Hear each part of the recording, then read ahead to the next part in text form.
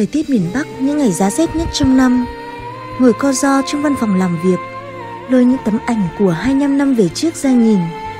Hồi ức về 12A Khiến tôi muốn làm điều gì đó cho các bạn. Món quà nhỏ này tôi dành tặng cho thầy, Cho 43 người bạn thân yêu. Thời gian trôi qua mau, Chỉ còn lại những kỷ niệm kỷ niệm thân yêu ơi sẽ còn nhớ mãi tiếng thầy cô. Bạn bè mến thương ơi sẽ còn nhớ những lúc giận hờn. Để rồi mai chia xa, lòng chợt dâng niềm thiết tha. Nhớ bạn bè, nhớ mái trường xưa. Đặt bàn tay lên môi, giữ chặt tiếng nấc nghẹn ngào thời gian sao đi mau, xin hãy ngừng trôi. Dù vẫn mãi liên tiếc khi đã xa rồi. Bạn bè ơi vang đâu đây? Còn giọng nói tiếng cười. Những nỗi nhớ, niềm thương. Gửi cho ai? Nếu có ước muốn trong cuộc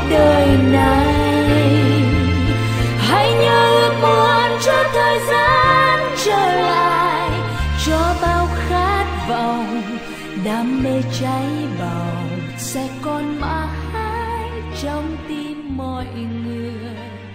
Để tình yêu ước mơ mãi không phai. Người đầu tiên tôi nhớ đến là thầy. Dáng cao to giọng sang sảng lúc nào thầy cũng lăm lăm cái tức kẻ.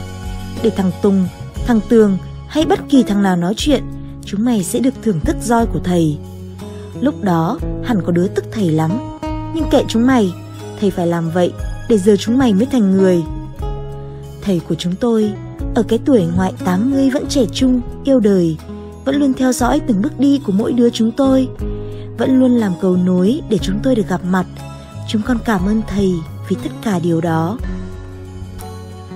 Nhìn lướt qua cái ảnh chụp ngày ra trường, điểm mặt từng đứa, tôi trùng xuống khi góc của Hằng của Việt, giờ sẽ không còn ai đứng vào một cô bạn hay hát hay cười. Một anh chàng bàn đầu ngăm đen cười thật duyên. Vậy mà, ở nơi thật xa ấy, bọn mình mong các cậu được bình yên, mãi nhớ về các cậu. Cô bạn lớp trưởng áo tím, giọng ca của lớp, nó duyên lắm, suy nghĩ cũng đơn giản, chẳng ganh tị, bon chen. Có lẽ vậy mà cuộc sống của nó giờ khá bình yên ở một ngôi trường tại vĩnh phúc. Nó gần nhà tôi, nên chuyện của nó tôi biết hết. Thằng đầu tiên trong bức ảnh là thằng Công. Hình như xưa nó thích một đứa trong nhóm tôi. Một lần bắt gặp lượn xe ra khu đó, tôi ít nói chuyện với nó, nên giờ hơi bất ngờ vì nói chuyện với nó khá thú vị. Cuộc vui mà không có nó chắc sẽ buồn. Giờ nó làm ở công ty gì đó dưới Hà Nội, gia đình cũng chuyển hết về Hà Nội. Cạnh thằng Công là thằng Bằng. Xưa nó thư sinh, giờ vẫn thế. Nó là đứa cá tính, có thú chơi xe, chơi nhạc cụ nó là thằng nhiệt tình với bạn bè. Bọn tôi đi đâu mà hú nó, Là nó sẵn sàng đi liền. Cạnh thằng Bằng là Hoàng Anh. Xưa nó chuyển từ đâu về chứ không học cùng chúng tôi từ đầu. Nó nhỏ mà có võ Võ này không dễ mà có được. Bọn tôi quý nó vì cái tính vui vẻ Sởi lời với bạn bè. Nó làm bên ngành điện ở Ninh Bình, Ngồi ở cái ghế cũng khác ghế bình thường thì phải. Thằng Giang béo, Nó hiển như cục đất.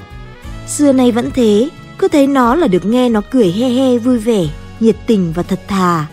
Xưa nó thích một đứa trong số những đứa ngồi đây, làm chân gỗ cho nó mà chưa được trả công cái gì. Giờ nó làm cán bộ của Viettel.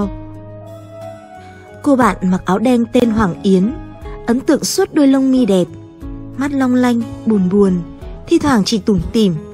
Tưởng nó lạnh lùng nhưng cũng dễ gần, dễ chơi. Giờ thành cô giáo rồi nên có khác nhiều, hay cười, hay nói và rôm rả hơn xưa. Cô nàng tốn giấy mực nhất lớp tôi là Thủy Phương. Nghe cái tên cũng đã yêu rồi.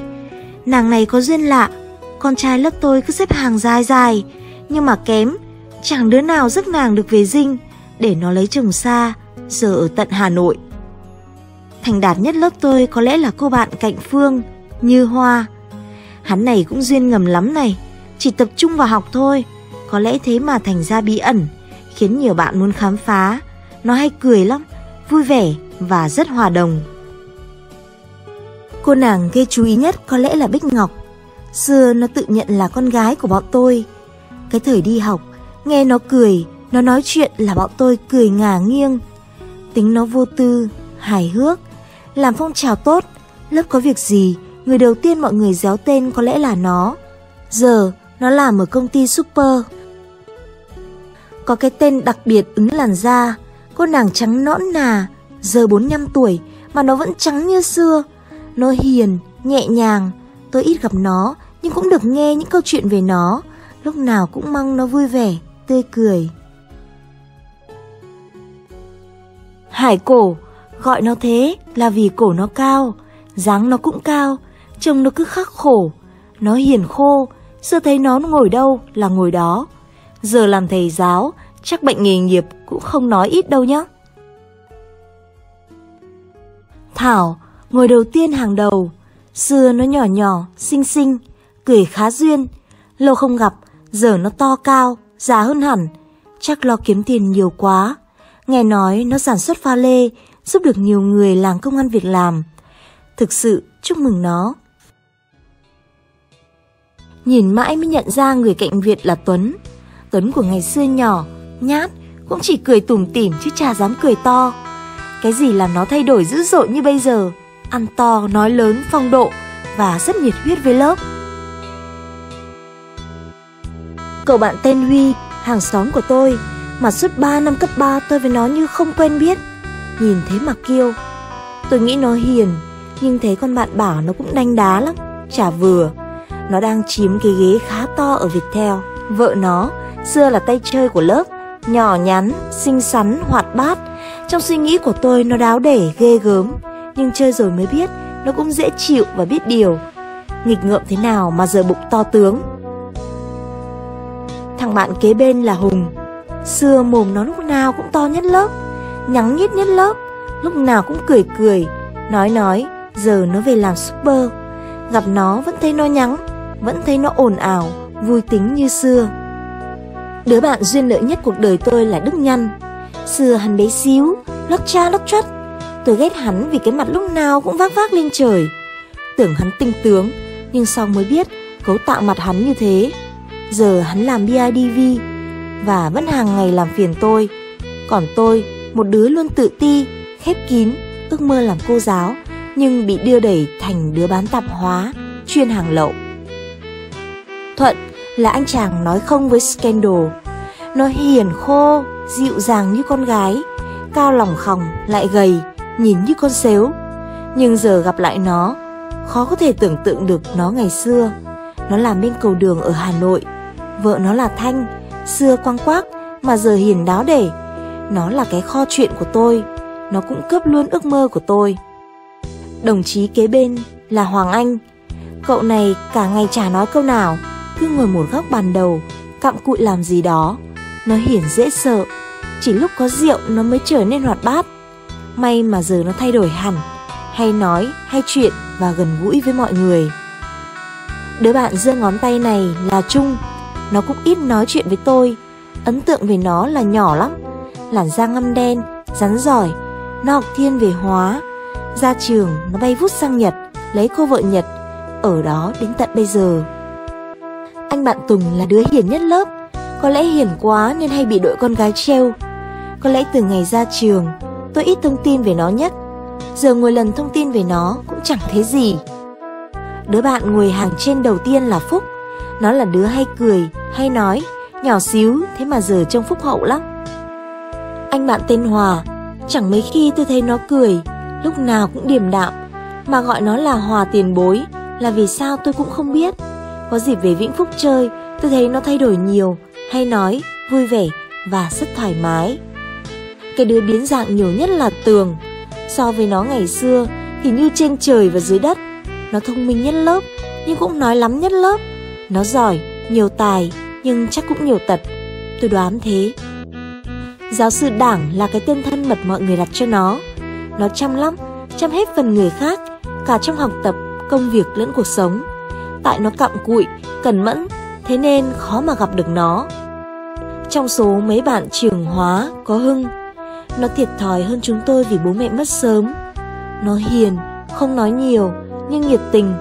Giờ nó ở Hưng Yên, thi thoảng chúng tôi cũng có dịp gặp gỡ. Hải ấm dáng thư sinh, trắng trẻo, đẹp trai, hay cười mỉm, tôi cũng ít có cơ hội được nói chuyện với nó, nhưng cảm nhận riêng là hiền, nhiệt tình với lớp, với bạn. Thủy là đứa bị thằng hàng xóm cưa sớm nhất lớp tôi. Đừng nhầm thằng ngồi cạnh nó cao rong rỏng, cũng hoạt náo, luôn song hành cùng Hiền. Giờ nó cũng thành đạt, làm cán bộ ngân hàng tại Việt Trì. Ấn tượng nhất với cô bạn cùng tên Trang là mái tóc dài thướt tha hay cười. Hắn giỏi môn văn nhất lớp tôi, tiếc là nó trả theo bọn lớp đến cuối cùng mà nhảy lên tận Thái Nguyên. Giờ nó cũng ở luôn trên đó. Tôi chẳng quên được điệu cười của Lư, khó miêu tả và là của Hiếm. Hắn dễ chơi, nhạc nào cũng nhảy, nhóm nào cũng có thể hòa đồng, tính lúc nào cũng vui vẻ, vô tư. Ngoài khả năng hát hay, hắn còn có khiếu khuấy động phong trào. Đức Hạnh cũng là cây gây hài của lớp, rất nhanh nhỏ, lâu lắm rồi tôi cũng không có dịp gặp lại. Nghe nói hắn là đứa sợ vợ, giờ làm xa nhà. Lê Hiền với cái dáng người tròn tròn, cứ gặp là cười tươi, giờ đã là hiệu phó một trường lớn. Cô bạn trắng trẻo, xinh xắn là một thành viên trong lớp, điêu đứng, giờ làm giáo viên của chính ngôi trường cũ, một cô giáo toán tiềm năng. Cô bạn Hàn này có một cảm giác là một người có uy lực, một trưởng nhóm có trách nhiệm và có tiếng nói. Một cô giáo chắc sẽ khiến học sinh phải giáp giáp kỷ luật. Tôi chơi với cô nàng Vi Hà này từ năm lớp 6. Cao, to, tính cách mạnh mẽ, rõ ràng, không thích, không yêu, hắn mắng luôn chả sợ. Tôi vẫn thấy bất ngờ vì giờ hắn làm chủ câu lạc bộ yoga. Ấn tượng về cô bạn Thanh là vẻ ngoài yểu điệu, nhẹ nhàng, nói cũng nhẹ nhàng, có khi thở cũng nhẹ nhàng luôn. Mãi năm cuối Hương mới về lớp, nhưng cũng để thời gian để tôi cảm nhận về cô nàng khá dễ gần, hay chuyện và vui vẻ. Giờ là mẹ ba con cùng chồng ở Hà Nội. Cô bạn trắng nõn nà, làm quản ca của lớp, hay hát, hát hay, sống tình cảm, giờ sống cùng thủ đô, mà cũng tới 5 năm rồi tôi chưa gặp nó. Ánh Dương, nghe tên đã thấy hình ảnh cậu bạn mặt lúc nào cũng hồng hào. Chiều xíu thôi là đúng như Ánh Dương, mặt đỏ bừng, giờ đứng trước đám sinh viên, cậu ấy thế nào nhỉ? Từ ngày ra trường, tôi không một lần gặp Tú. Cô bạn ít nói, ít chuyện, chẳng biết đã thay đổi thế nào. Hy vọng được gặp lại bạn. 25 năm qua, chúng tôi mỗi đứa một nơi, mỗi đứa một hoàn cảnh. Dù không gặp, nhưng chúng tôi vẫn có thông tin về nhau, vẫn quan tâm đến nhau ở một góc độ nào đó. Thì thoảng, chúng tôi vẫn tụ tập nhau khi ở Ninh Bình, lúc Vĩnh Yên, khi Hà Nội, Phú Thọ. Hôm nay, sau nhiều tháng lên kế hoạch, sau bao lần bàn bạc và cơ số những buổi giao lưu, chúng tôi mới tụ được về đây, được bên nhau để cười nói, hàn huyên.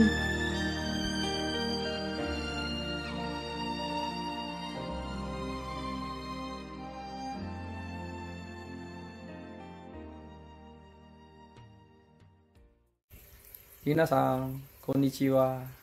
Xin chào tất cả các bạn. Các bạn có nhận ra ai đây không? Mình là Trung đây. Trước hết, eh, xin gửi lời chào tới cả các bạn có mặt trong buổi gặp mặt ngày hôm nay. Xin cảm ơn bạn Trang và ban tổ chức đã dành thời gian để mà à, tổ chức một buổi gặp mặt như thế này. Ê, Trung rất lấy làm tiếc và không thể về để mà à, gặp mặt cùng với các bạn. Mong các bạn thông cảm. Cho người nhân buổi gặp mặt ngày hôm nay cho chương xin gửi, gửi lời hỏi thăm và chúc sức khỏe đến thầy Đại, đến tất cả các bạn tập thể 12A và các bạn có mặt trong ngày hôm nay. Mong các bạn luôn luôn mạnh khỏe và hạnh phúc. Ờ, chúng mong được một ngày gần nhất sẽ được về để mà tụ tập cùng với các bạn, nói chuyện với các bạn được nhiều hơn nữa. Ờ, chúc các bạn có một buổi gặp mặt đầy vui vẻ. Xin chào và tạm biệt các bạn. Bye bye. Kính thưa các cựu học sinh 12A khóa 1994 1995 Từ ngày các em vào trường Trung học phổ thông Phong Châu tháng 8 năm 1992 đến hôm nay 27 tháng 12 năm 2020 đã là hơn 28 năm rồi. Nếu kể từ ngày ra trường tháng 6 năm 1995 đến hôm nay 27 tháng 12 năm 2020 cũng đã hơn 25 năm rồi. Hôm nay tại thành phố Lễ Hội, lớp 12A tổ chức cuộc họp mặt này. Thầy rất vui mừng, phấn khởi và cảm ơn các em. Thầy trò chúng ta có một điểm chung, đó là cuộc đời bắc ngang qua hai thiên niên kỷ. Chúng ta sinh ra trong những năm 1900 XY và bây giờ là năm 2020. Chúng ta hãy nhiệt liệt hoan nghênh sự kiện này. Thưa các em cựu học sinh lớp 12A,